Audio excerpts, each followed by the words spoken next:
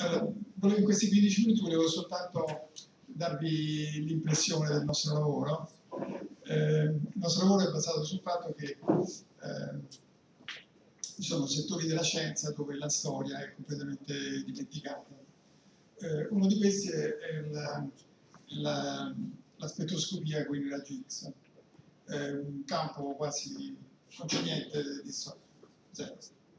Eh, su cui ci ho lavorato 50 anni, quindi a un certo punto eh, eh, Wanda Boucher ha cominciato a pensare, dice ma un giorno, perché non facciamo la storia dei raggi X, della reazione di sincrotrone, che non c'è nulla.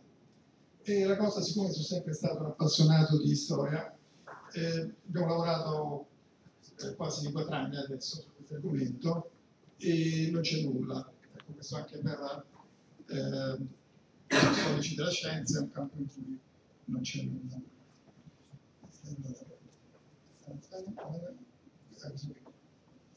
Eh, in Italia eh, i raggi X, eh, la ricerca sui raggi X comincia qualche giorno dopo l'annuncio della scoperta di Röntgen.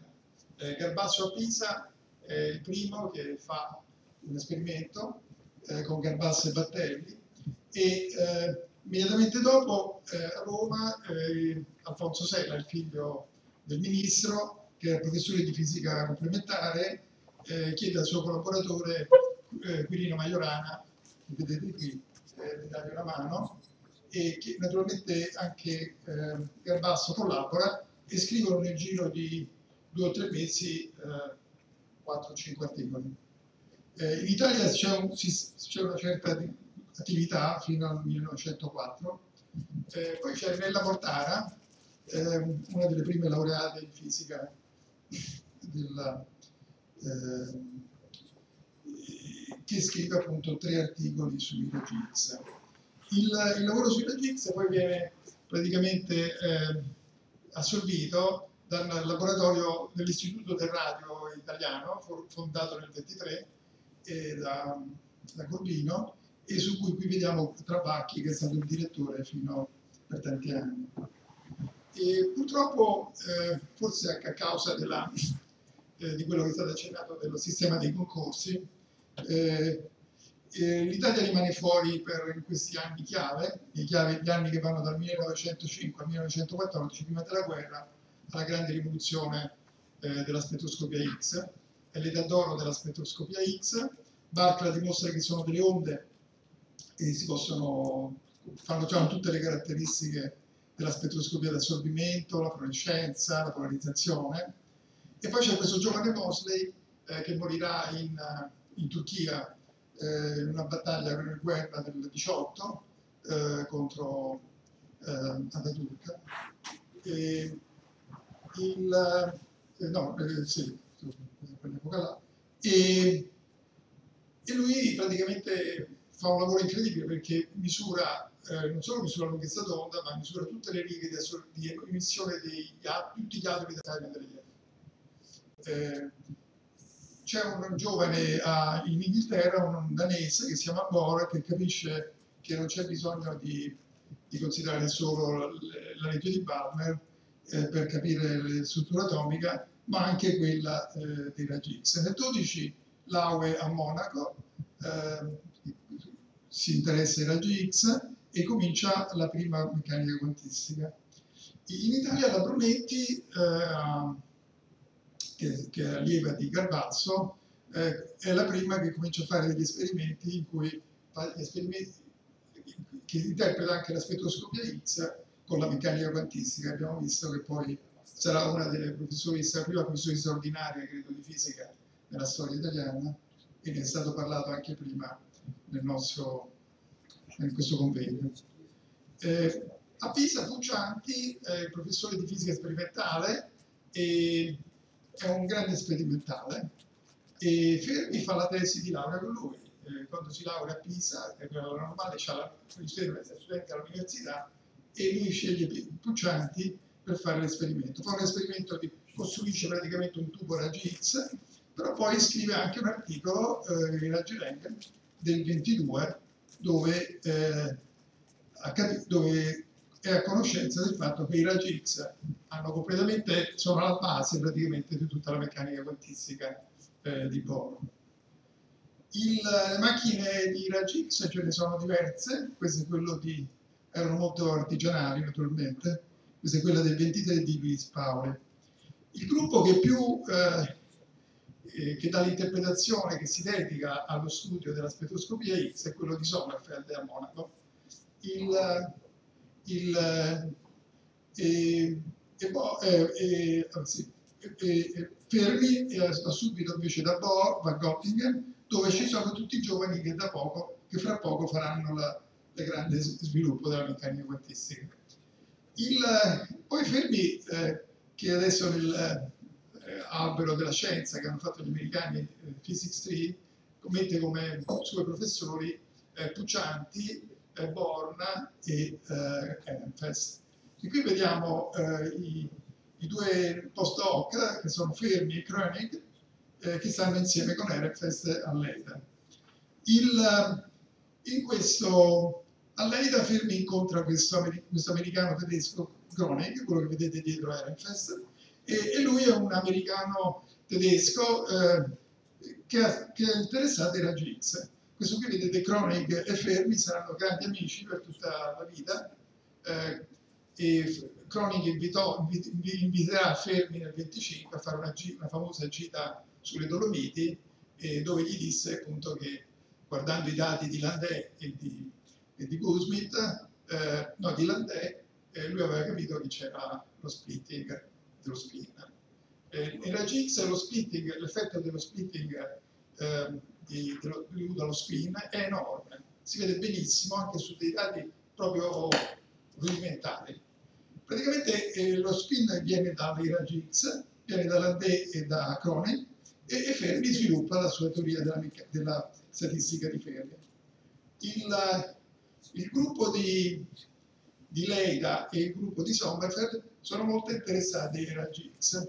E Kronig collabora con Kramer, si fanno questi famosi esperimenti e teorie, e naturalmente con Bede e Landé e, e Wenzel. Wenzel era fondamentale, era, veniva dalla scuola di Sommerfeld e era amico di, eh, anche di Kronig. E Wenzel prende la cattedra insieme a Paoli nel 27 a Zurigo e si occupa di tutti i lavori fondamentali di, di decadimento eh, radiativo e non radiativo eh, vengono fatti da Wenzel e sono dei capolavori della meccanica quantistica che sono dimenticati. Fermi quindi praticamente fa i suoi postdoc e diventa in contatto con tutti questi gruppi fondamentali, sia quello di Sommerfeld che quello di Born che quello di Ehrenfest, che sono i tre, i tre punti centrali della prima meccanica quantistica ho detto anche vecchia meccanica quantistica. Quando viene a Roma eh, cerca di fare un gruppo teorico e, eh, e raccoglie intorno a lui eh, Majorana e poi Giovanni Gentile Junior che viene come postdoc da, eh, da Firenze.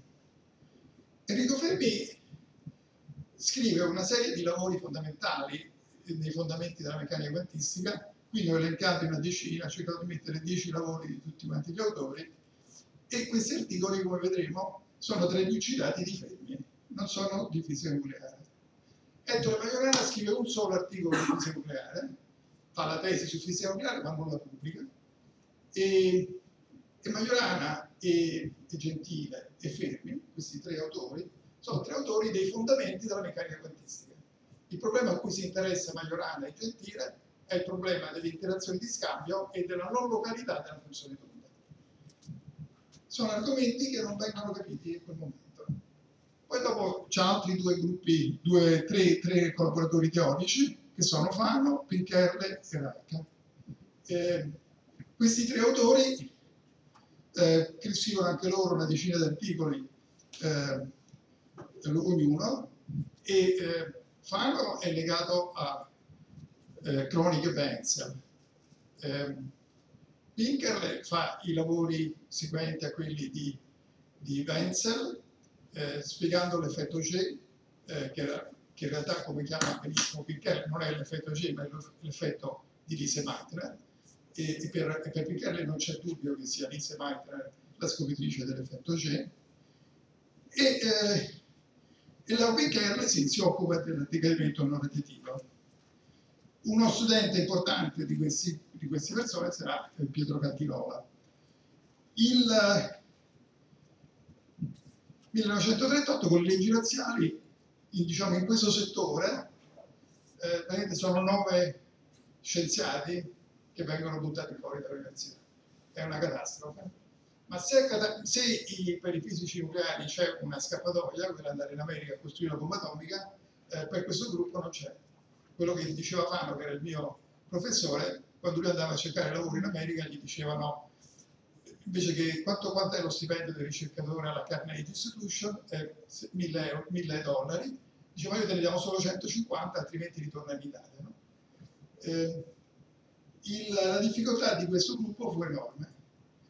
Eh, Fano andò a Parigi e conobbe questa Lise Maitre, eh, Cauchois, poi ad Ann Arbor, dove Fermi lo invitò, e come ricorda Fermi eh, a Fano, ad Ann Arbor tutti sapevano che eh, Fermi sarebbe stato il capo della bomba atomica americana e Heisenberg quello del capo della bomba atomica e questa è una cosa manoscritta di Fano che possiamo fare presente.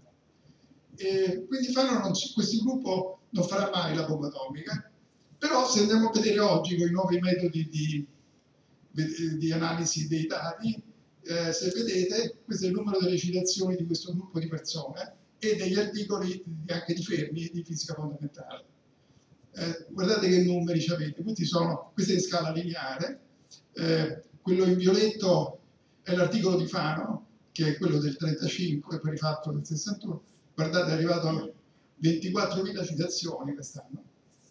Eh, l'articolo di, di Majorana Fermions è arrivato subito l'anno scorso, è arrivato, ha superato i quasi, è arrivato quasi a, a 10.000. Quello verde è l'articolo del, del, del, della, del Majorana, eh, di Majorana quello rosso che sotto poi ci sono quelli di scambio. Se li vedete in scala logaritmica, vedete che hanno tutti quanti di questo gruppo eh, hanno una tipica andamento opposto con derivata positiva a quello usuale della derivata negativa. E questo nella teoria dei network, nell'analisi dei, è, è stato proposto come essere il vero criterio per la qualità di un articolo. La qualità dell'articolo non deve decrescere, ma deve crescere col tempo e, e questi hanno una caratteristica incredibile, potete vedere gli esponenti, adesso li ho messi tutti là, ma sono più di 10. Questo gruppo si disperde nel 38. Nel frattempo la fisica va avanti e questo signore Kers scopre il betatrone, quest'altro signore che si chiama Pomeranchuk eh, fa la teoria della radiazione di sincrotrone e, e in collaborazione Pomeranchuk è un giovane tipo Majorana, e questo Ivanenko è quello che scopre, il, come Amaldi dice, il primo che ha scoperto che eh, ha fatto la teoria che eh, il neutrone è fatto di protoni e neutroni, insieme con Majorana che scrive l'articolo e, eh, e, poi eh, Heisenberg. Eh, quindi questi due grandissimi scienziati russi, eh, Pomerancio che è professore alla stessa università dove sono professore io alla Maif University, e eh, Ivanenko è professore per 50 anni alla Lomonosov University. Eh, la radiazione di scopritore viene scoperta al laboratorio di, della General Electric voluto da Edison nel 1947 e praticamente poi comincia questa storia. La storia è che questi anelli che producono raggi X eh, hanno energie basse quando vengono scoperti e emettono solo l'infrarosso poi dopo nel 1947 quello che si vede è visibile e poi comincia a, capire, a aumentare l'energia. Quando arriviamo al 58, vedete quel punto rosso del 58, eh, Fano si ricorda del suo amico. Eh, Van ha trovato questa lettera eh, di Fano che scrive a Maldi e gli dice ah, insomma se avete questo anello affrascato in sincrotrone perché non, non, non lo usate come soggetto per raggi quindi sono 30 anni cui è successo di tutto e questa amicizia umana tra i due, tra Fano e Amaldi, era rimasta molto salda. Io l'ho conosciuti era, andavano a cena tutti quando Fano stava a Roma, andava sempre a cena a casa di Maldi a Viale Varioli, e fa nascere la radiazione di sincrotrone. Si forma un, un, gruppo che si chiama Luce di Sanità e questo è il, io sono cominciato nel 71 e Fano era il nostro supervisor e riusciamo a costruire la prima facility di radiazione sincrotrone, questa è quella del 71-74, e, e l'Italia comincia a entrare nel, nel, mondo di questa nuova spettroscopia.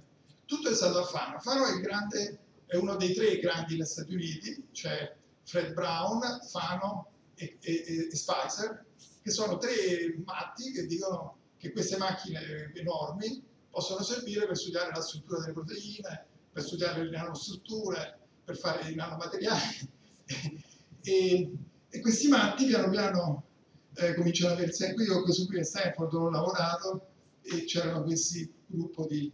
Eh, ma la cosa più interessante è quella, una è quella che adesso faremo un libro, stiamo scrivendo eh, una serie di articoli, eh, che a Frascati eh, Fano suggerisce di dare un'interpretazione con la teoria del multiple scattering non solo alle, alle, strutture sopra la soglia, le strutture sopra la soglia vengono inventate da che scrive quattro articoli perfetti, questo per la storia della scienza, eh, la teoria è perfetta, c'è qualche approssimazione da correggere, vengono chiamate strutture di Cronin dal 1931 fino al 1970, quando gli americani costruiscono acceleratori per radiazione di sincrotrone li chiamano EXAFS e adesso EXAFS è diventato un nome corrente, nessuno si dimentica più che Cronica ha scritto quattro articoli perfetti, questo è quella storia della scelta, hanno cambiato il nome, dopodiché eh, è cambiato tutto. Se uno fa adesso il, il, il grafico delle citazioni della parola EXAFS nasce nel 70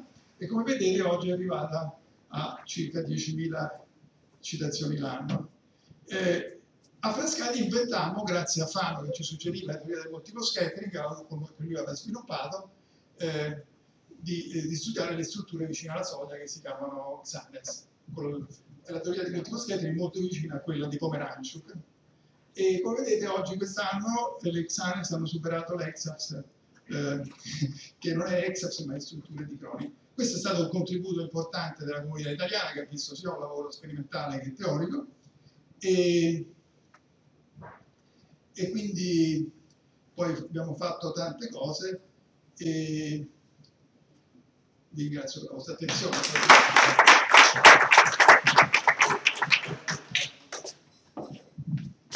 Ringraziamo gli speaker e anche i presenti, purtroppo non c'era il tempo per fare le domande.